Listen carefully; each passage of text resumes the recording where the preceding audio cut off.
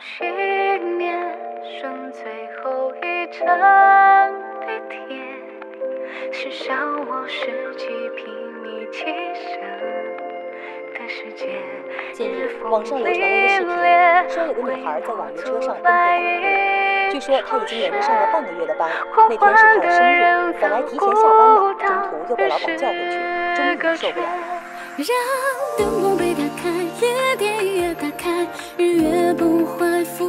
相爱。不梦的老人和造梦的大海，多少幻听的旁白，寂寞又精彩。于是我穿越咫尺光年的时空，等银河张开，悬笔来与我相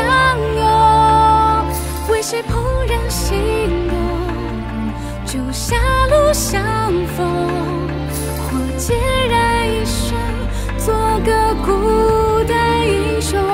于是我唤醒白鹅汉墓的鸿蒙，这城市正如陨石冰川般尘封，命运天马行空，却年少只有未经我允许，谁都不可闪躲，只有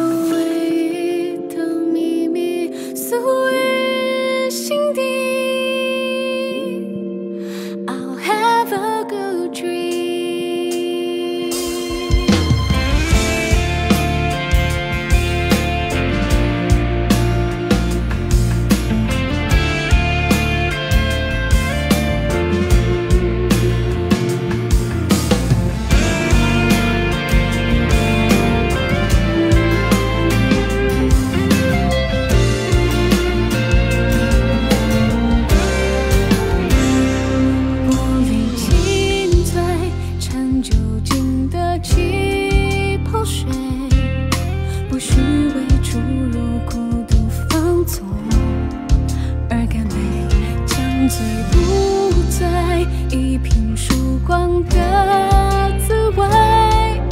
我竟这半梦半醒，彻夜暧昧，让音乐被播放，连树叶都奔忙，宇宙铿锵尘埃晴朗。脚边的铅笔盒，头顶的月亮，哪个更值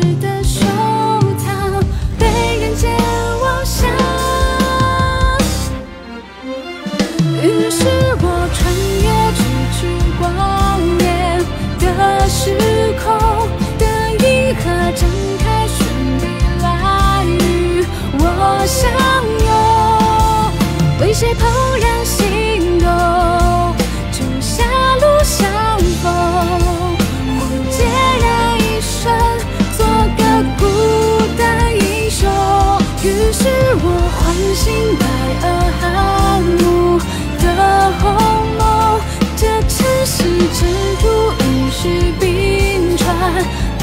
绽放，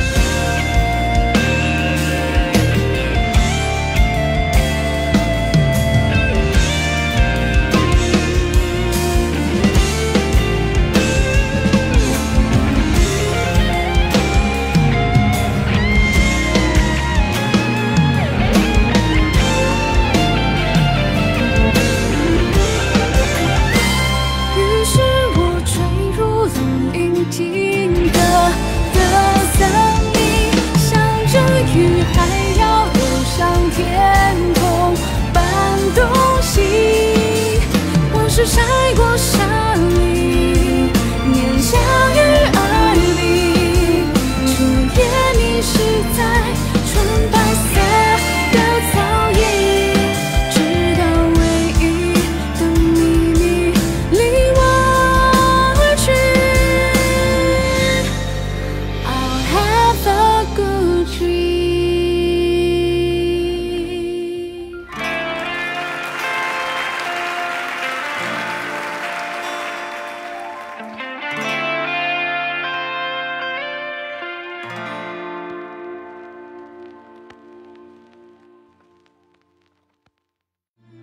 高考应届生。